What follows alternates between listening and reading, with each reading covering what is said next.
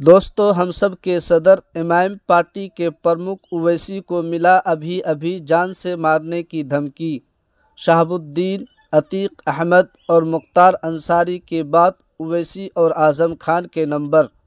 दोस्तों, किसने दिया उवैसी को जान से मारने की धमकी? पूरी खबर विस्तार से हम आपको बताने की कोशिश करेंगे। उससे पहले आपसे एक छोटी सी रिक्वेस्ट है अगर आप इस चैनल पर पहली मर्तबा आए हैं तो आप इस चैनल को ज़रूर सब्सक्राइब कर लें। अगर आप इस चैनल को सब्सक्राइब कर लिए हैं तो आपका बहुत बहुत शुक्रिया। चलिए दोस्तों, बिना किसी देरी के वीडियो को स्टार्ट करते हैं। अस्सलाम वालेकुम मेरे प्यारे दोस्तों, मैं हूँ अबू तालिब जमाली और आप अभी देखना स्टार्ट कर दिए हैं अररिया इमाम न्यूज़ चैनल। दोस्तों, सबसे पहले मैं आपको इस वीडियो में बताऊँगा कि पाँच बार के विधायक मरहूम जनाब मुख्तार अंसारी के मौत के बाद हैदराबाद के सांसद और इमाम पार्टी के प्रमुख बैरिस्टर जनाब असदुद्दीन अवैसी साहब सोशल मीडिया के ज़रिए से अपनी बातों को शेयर किए हैं। इन्ना लिल्लाहि व इन्ना इलैहि राजिऊन।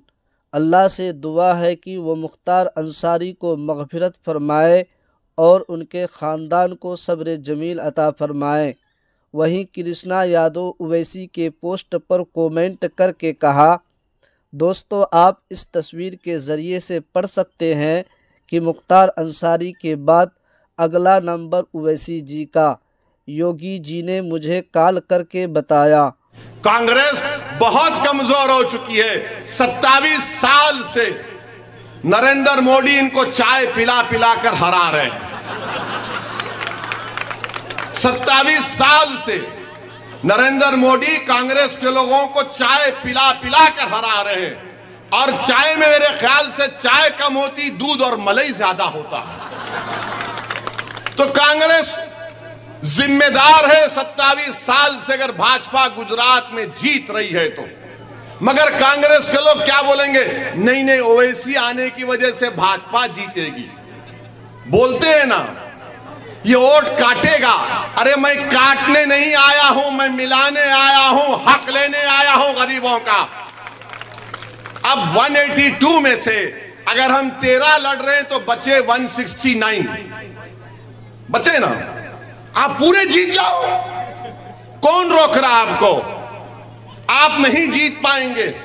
और बोलते हो इसी भड़काऊ भाषण देता है, अभी को मीडिया के लोग हमारे इंटरव्यू लेकर गए। बोले, लोग आपको भड़काऊ भाईजान बोलते हैं।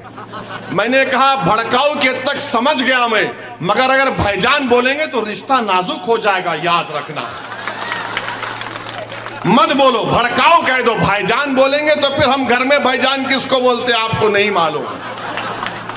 तो बोले, क्या बोलते? मिला, छोड़ दो, इसी पर बात ले लो, चले जाओ, वरना तुम तकलीफ़ हो जाएगी. भड़काओ भाईजान, क्या भड़काओ भाईजान है? सच्चाई को बयान करना, भारत के प्रधानमंत्री की गलतियों को दोहराना, उनके पंद्रह लाख के वादे को झूठा बोलना भड़काऊ भाषण है।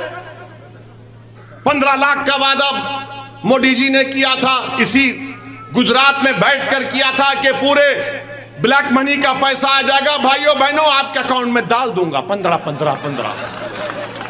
बेचारा गरीब खुश हो गया। अरे, पंद्रह लाख। पूरा गरीब, अरे, पंद्रह लाख। पंद्रह पैसे नहीं आए उसके जनधन के अकाउंट में। वही दो हज़ार आए, कभी दो पंद्रह सौ आए, ले लो, ये कर लो। अब हम जब इसको बयान करते, कांग्रेस वालों को तकलीफ़ हो जाती है। हर कांग्रेसी बोलता है, अरे ओवैसी तू इस तरह की तकरीर क्यों करता? अच्छा इतनी देर से हम हमारा भाषण सुन रहे हैं। हम किसी के खिलाफ, किसी मज़हब के खिलाफ बोले? किसी के खिलाफ नहीं बोलते। अब इनको तकलीफ़ क्या है कि ये कैसे बोलता है? अरे तुम भी तो बोलो, अल्लाह तुम्हार को भी जबान दिया ना। मगर तुम्हारी जबान नहीं चलेगी क्योंकि तुम्हारी जबान कॉम्प्रोमाइज कर चुकी है मोदी के साथ। तुम्हारी जबान इसलिए नहीं चलती क्योंकि तुम्हारे सीने में गरीबों की तकलीफ़ नहीं है।